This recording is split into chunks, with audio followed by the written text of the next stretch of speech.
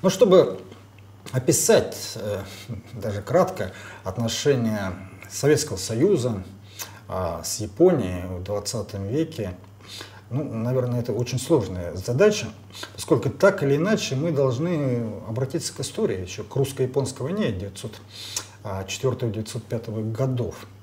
Ведь э, что тогда происходило? Япония, она была ну, страна восходящего солнца, она действительно тогда промышленно восходила.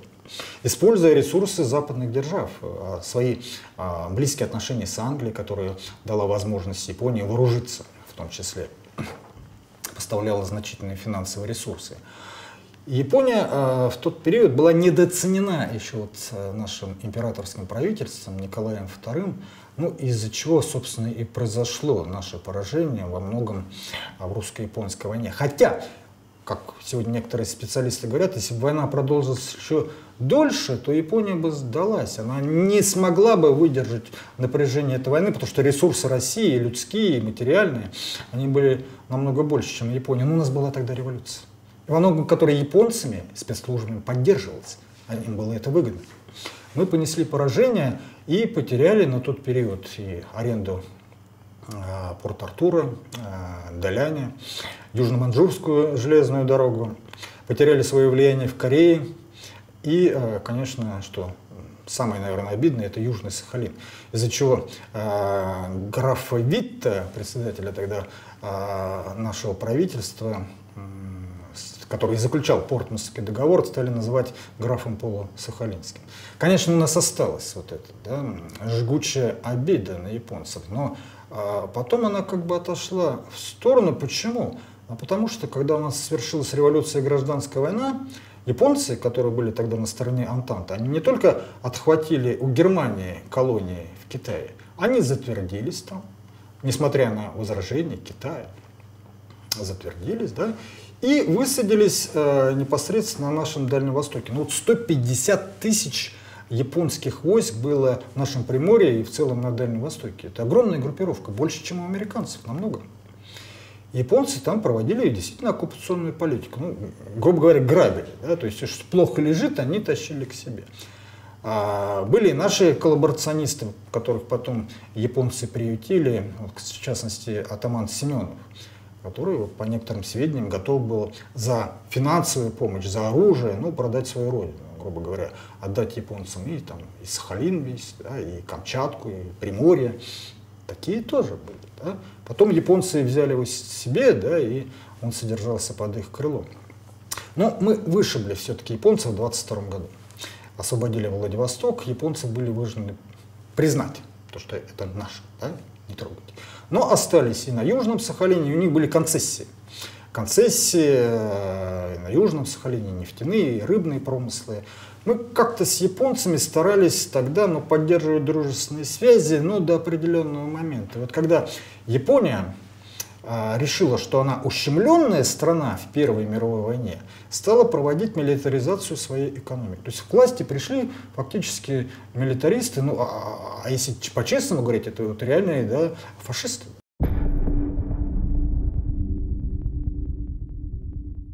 У них э, было превосходство японской расы. Япония должна править э, на Востоке э, и господствовать, да, учить другие народы филиппинцев, малайцев, китайцев. Да. Что это как не фашизм? Что это как не расовая террория? Поэтому они стали сближаться с Германией. И в 1936 году между Германией и Японией был заключен антикоминтернский пакт, к которому потом Италия присоединилась. И потом возник вот этот э, трипартий пакт, что называется, да, а, пакт трех держав, Германия, Италия, Япония. И они стали делить сферы интересов. То есть Германия это Европа, а Италия – это район Средиземного моря, Африка, а Япония – это Великая Восточная Азия, где Япония должна править.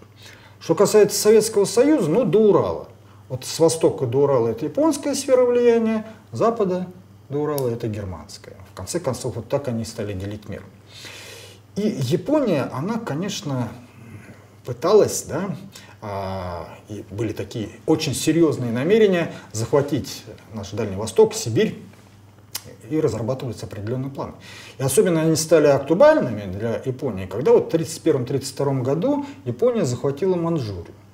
и образовал там марионеточное государство Манчжоу-Го во главе с Пуи. То есть это были марионетки, которые японцы использовали, в частности, в своей армии. Дальше, в 1937 году Япония повела широкомасштабное наступление на Китай. Единственное, кто тогда противостоял вот этой японской агрессии в Китае, это были наши, наша страна. Вообще мы первые вступили в борьбу с нацизмом. Об этом сегодня на Западе почему-то забывают. Они говорят только о пакте Риббентропа-Молотова, а забывают о том, что они сдали Испанию, а мы Испанию защищали. О том, что они сдали Австрию, Чехословакию, мы готовы были прийти на помощь.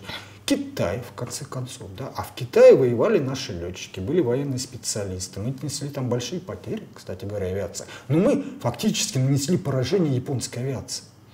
Э, это сегодня признано Китаем, это все. То есть наши летчики, добровольцы, были герои Советского Союза, сбивали японские самолеты, бомбили японские аэродромы, то есть оказали неоценимую помощь Китаю. Ну и, конечно, тоже себе, потому что здесь, да, мы считали, вот проходит передовой э, форпост, фронт против вот этого милитаризма и агрессии.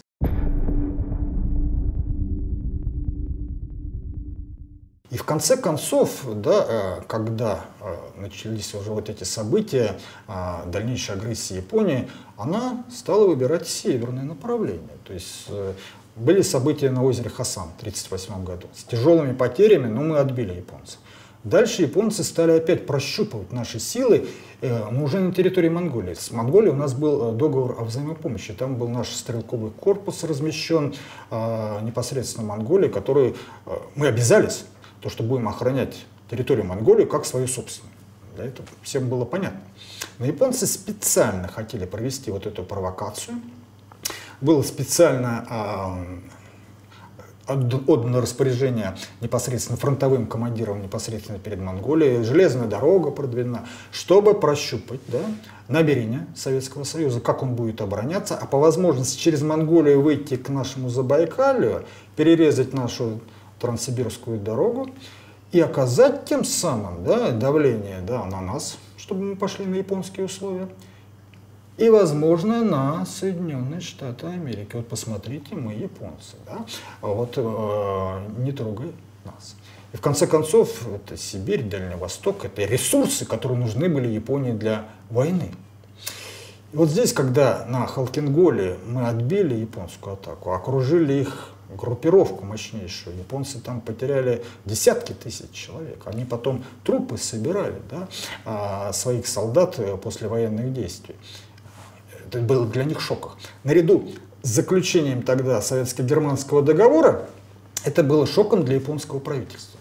То есть им под Халкинголом понесли поражение, плюс Германия, их союзник, с Советским Союзом заключили договор.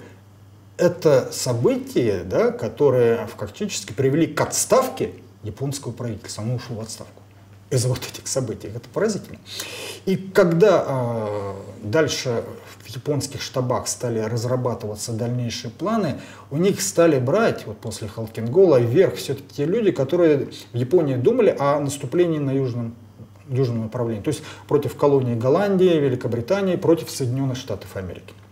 Но было понятно, то, что японцы просто так от нас не отстанут. То есть у них, и наша разведка об этом знала, там Зорге работал, то, что безусловно, были сильны еще те военные, это армейские, прежде всего, военные, не моряки, а армейцы, а, которые считали, что первый удар Япония должна нанести против Советского Союза. И там была мощнейшая группировка, миллионная квантунская армия в которая угрожала нашим границам. Что делать в этом отношении? Но в конце концов, все-таки, да, и наша сила, и наша группировка, которая на Дальнем Востоке э, находилась, события на Халкинголе, э, все-таки понудили Японию в апреле 1941 года заключить с нами пакт о нейтралитете. Это не гарантировало нас от войны с Японией. Но тем не менее, хоть что-то мы с Японией заключили.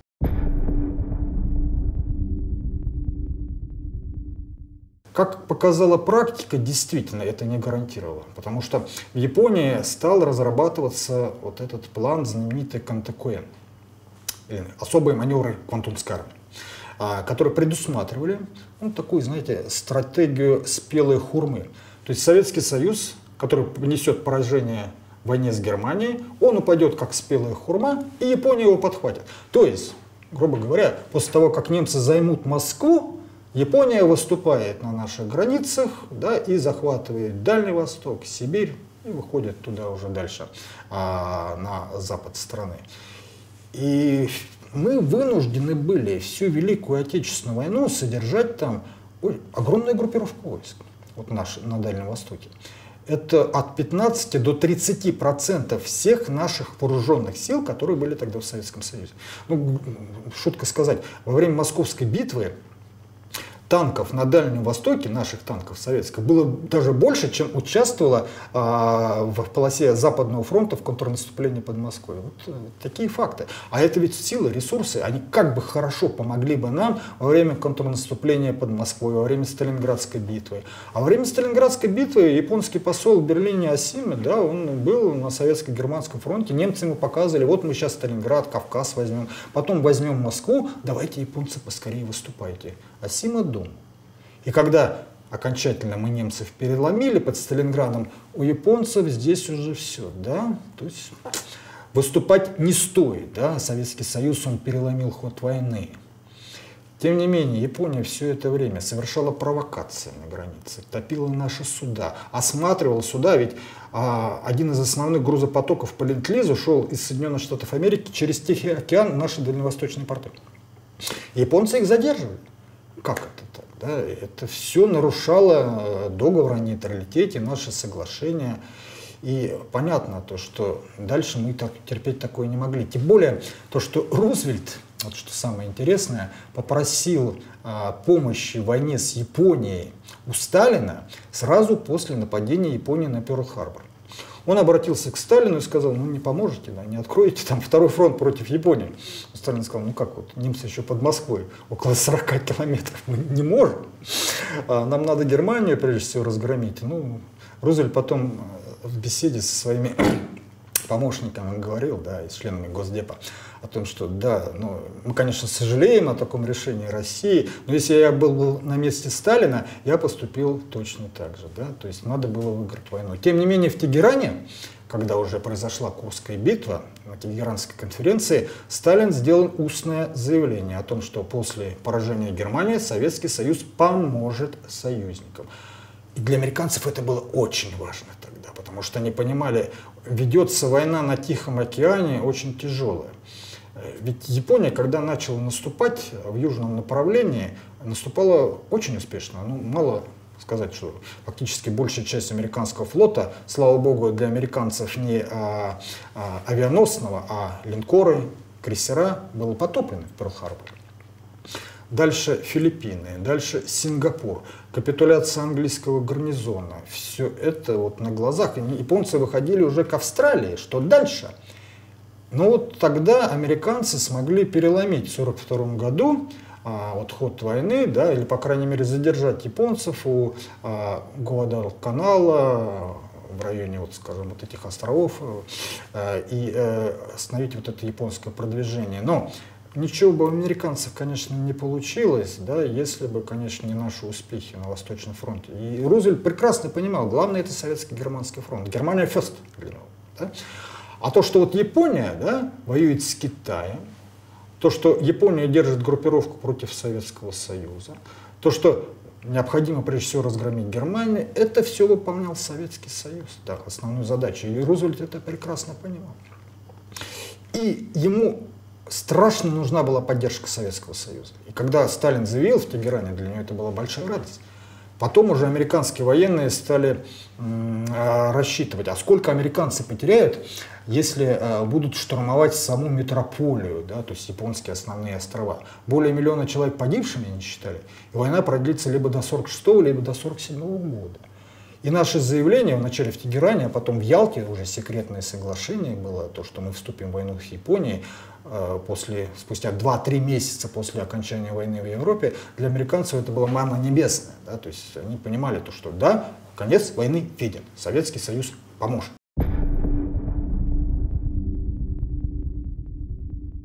И мы выполнили свое обещание. Еще в мае 1945 года, еще война даже не окончилась, мы начали перебрасывать э, свои сильные группировки на Дальний Восток.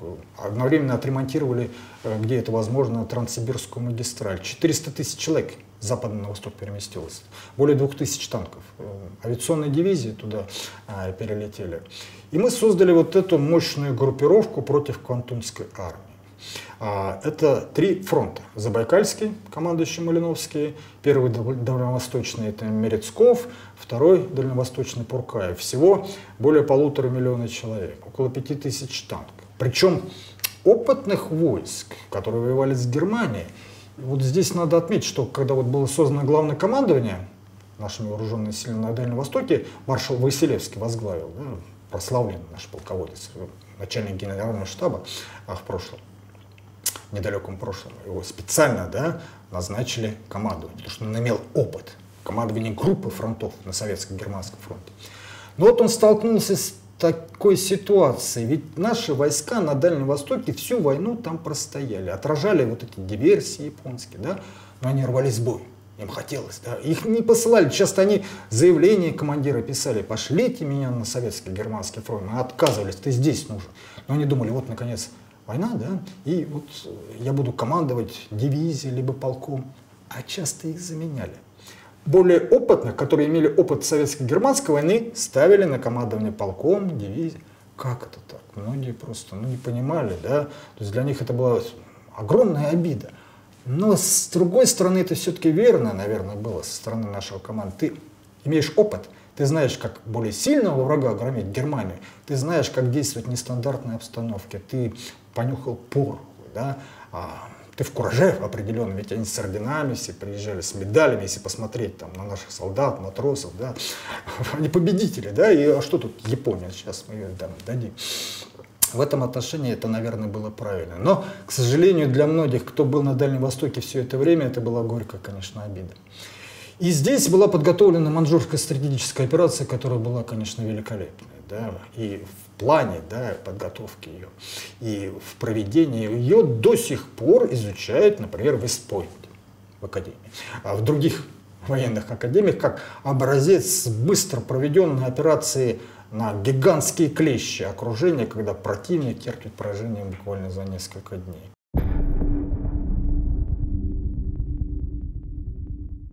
Конечно, нашим фронтам э, приходилось преодолевать самые сложные э, условия ландшафта. Ведь это степь, пустыня, полупустыня, горы, болото, тайга.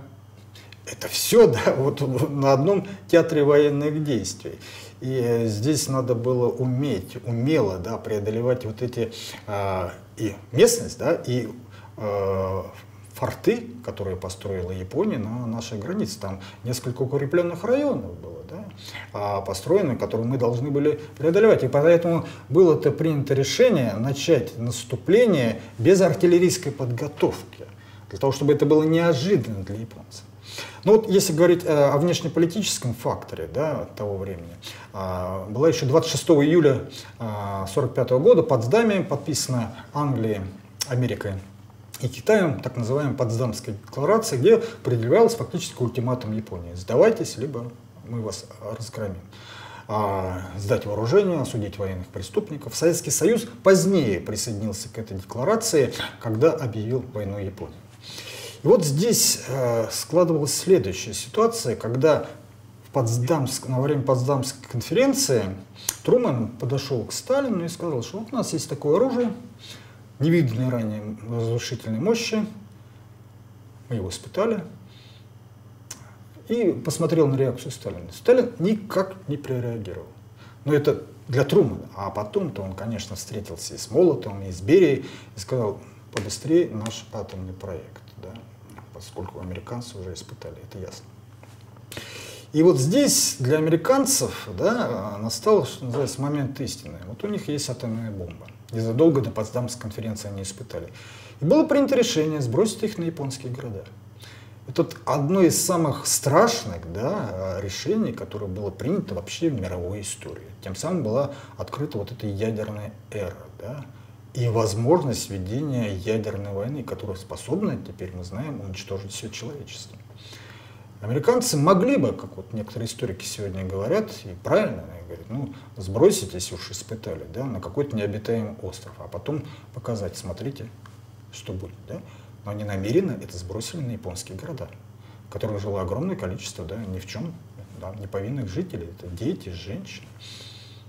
И э, эффект вот от этих ядерных бомбардировок был для японцев какой? Для того, чтобы показать прежде всего Советскому Союзу. Как Труман говорил, вот теперь у нас есть дубинка для этих русских парней. То есть показать Советскому Союзу, что с ним будет, если он не будет следовать в фарватере замыслов Соединенных Штатов Америки, не уступит где-то. То есть это была дубинка прежде всего для Советского Союза, не для Японии. И когда вот 6 августа на Хиросиму, 9 августа на Нагасаки были сброшены вот эти атомные бомбы, потери знаем сегодня от 200 тысяч да, и более. Это только вот в начале вот этих ядерных взрывов. А сколько от радиации тогда погибло? Некоторые насчитывают о полумиллиона и больше от различных болезней. Но американцы рассчитывали на военный эффект. Но на самом деле, если смотреть на документы американского командования, сейчас разведки ВВС, которая исследовала э, эффект от этих ядерных взрывов, они четко черным по белому там написано о том, что а, именно ядерные вот эти удары не оказали решающего воздействия на решение японского правительства на капитуляцию. Лишь после вступления в войну Советского Союза 9 августа, после объявления войны Японии, мы вступили в войну 9 августа. Именно вот этот эффект оказал решающее значение. И действительно, ведь большинство населения Японии не знало об этом. Об этих ядерных взрывах фактически. А императорское правительство тоже не знало этого эффекта. Но когда Советский Союз вступил в войну, и вот до 14 августа мы прошли на некоторых направлениях, навстречу друг другу Забайкальский фронт и Первый Дальневосточный, 400 километров, преодолевая вот эти холмы, Хинган большой, подтаскивает эти танки, невероятные усилия.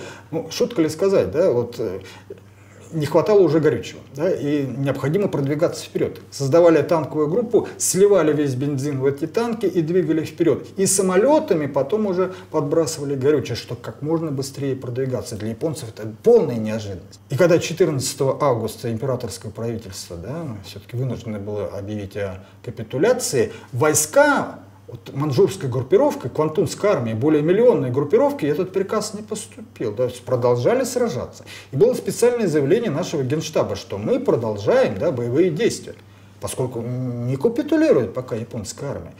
И до 19 августа мы вели эти наступательные бои, продвинулись на 600 и более километров. Высадили десанты в Дайрене, Харбине, то есть, э, чтобы японцы не могли отвести свои группировки на метрополию. Мы помогали тем самым американцам. В Северной Корее начали потом уже вот, э, операции э, на Южном Сахалине, прорывая кантонский рубеж, да, и на Курильских островах. И надо сказать то, что условия, которые мы поставили перед союзниками, да, нашей вступления в войну, это было возвращение нам Южного Сахалина, аренда аренды э, в Порт-Артуре и передачи Курильских островов. И американцы, англичане, да, да, конечно, все, никаких возражений. И понятно то, что мы возвращали свое, да, и мы помогали прежде всего э, союзникам и Китаю, да, потому что китайцы, есть документы сегодня Министерством обороны, которые опубликованы а, на сайте Министерства обороны, они говорят о том, как торжественно нас китайцы встречали цветами, да, забрасывали благодарности писали, э, причем это не коммунисты, да, это официальное гоминдановское правительство, то, что вы, вы освободители.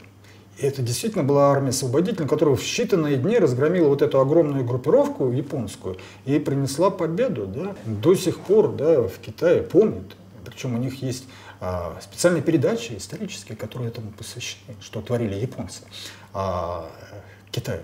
Это и резня, это изнасилование, да, это истязание, да, и как это все? Это, это, это те шрамы, которые никогда, наверное, не зарубцуются вот в китайской истории. И они нас встречали с большой благодарностью. И мы, конечно, вывели потом войска из Китая, но дальше там пошла уже гражданская война между коммунистами и Гоминданом, в которой победили коммунисты в 1949 году.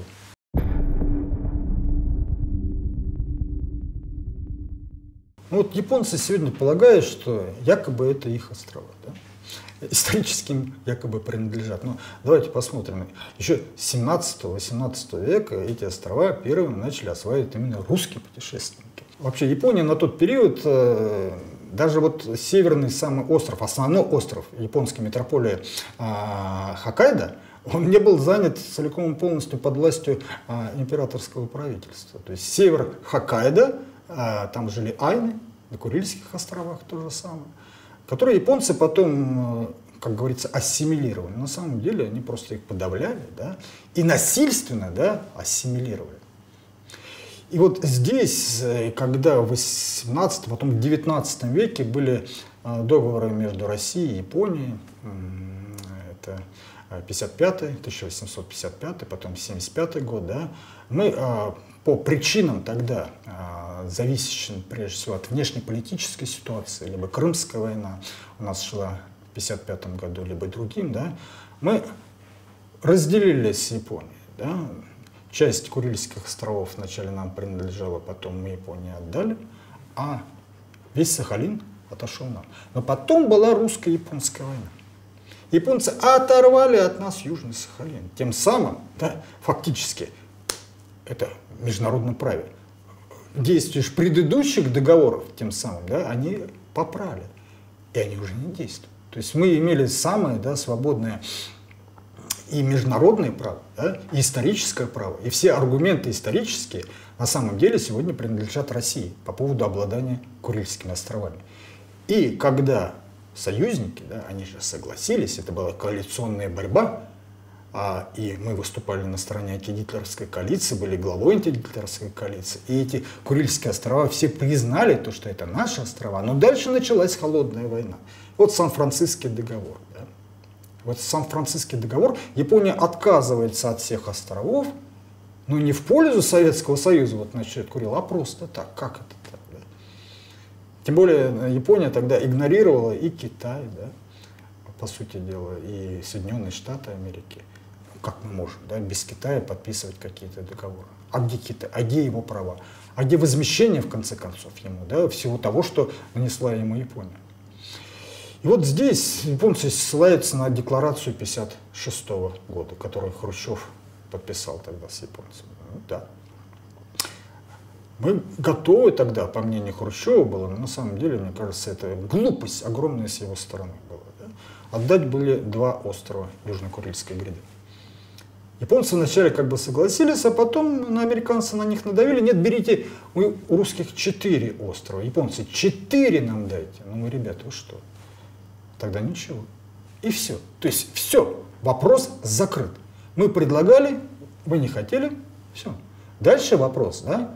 Разбирается в плоскости международной. Хотите международные, вот межсоюзнические соглашения, вот Сан-Франциско, вы отказываетесь, что вы еще хотите. Если вы что-то еще хотите, да, ну, э, это ваше право, да, ваши хотелки.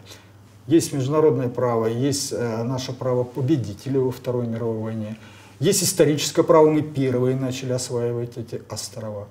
Если хотите торговать, ну, пожалуйста, давайте какие-то совместные да, проекты разрабатывать. Японцы ссылаются на отсутствие мирного договора. Ну и что? Что тут такого? У нас состояние войны было прекращено э, по совместным соглашениям. Да? У нас торговля и в советское время, да и в российское уже время, новое время, очень широкое. Да? Япония занимала а, вообще второе место во внешнеторговом обороте из капиталистических стран Советским Союзом. Разве этому мешало отсутствие мирного договора? Да никак нет. У нас есть дипломатические миссии, у нас есть культурные связи. Да, у нас есть э, связи с теми историками, ну, прежде всего здравыми японскими историками, которые прекрасно понимают, что Япония натворила во Второй мировой войне. Э, и сегодня, кстати говоря, Япония, э, по сути дела, еще оккупирована американскими войсками. Да? Там есть американские базы. Ну вот э, давайте вы вначале с американцами-то разберитесь в конце концов, да? А мы готовы да, сотрудничать с вами, торговать, да, вести культурные связи. Это очень важно, потому что это э, очень э, значимо для нас. Да, и великая японская культура, великая российская культура. Это все очень важно для нас и для будущих связей. Но я думаю, что э, сколько бы ни хотели японцы островов Курильской гряды, никогда они, конечно, их не получат.